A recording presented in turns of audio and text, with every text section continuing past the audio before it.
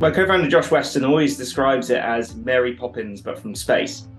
This is you can imagine it's sort of like an unfurlable umbrella that's that's opening out to being much much bigger than the satellite itself, um, but it retains the strength required to you know keep uh, keep it intact with the the strong winds that you're going to experience and the, the heating you experience during re-entry.